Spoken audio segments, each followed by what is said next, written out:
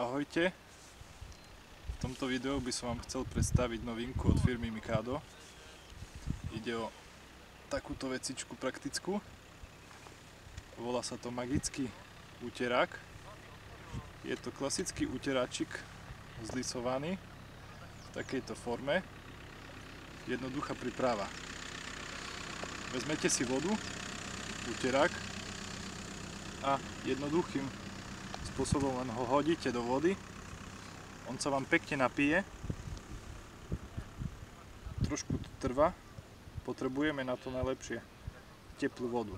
Nakoľko sme pri vode s feedrom a lovíme, takže máme ešte studenú dosť vodu, nakoľko je apríl, ale necháme ho trošku postať v tej vode, krásne sa nám roztvorí, necháme ho vysúšiť a máme pekný uteráčik, ktorý používame pri čistení rúk.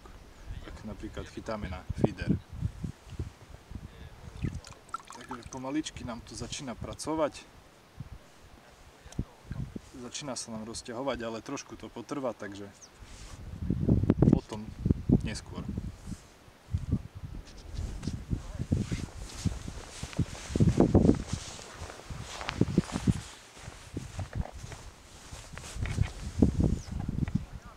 utieračik nám postal vo vode tak minútku, dve.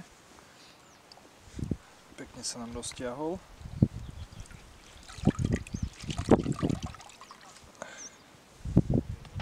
Máme takýto pekný maličký utieračik, prakticky pre nás rybárov, aj nerybárov. A jedna podstatná vec, ak si na e-shope www.lifefish.sk spravíte objednávku, tak takýto uterák dostanete ako darček v objednávke. Čiže takýto praktický uteráčik pre každého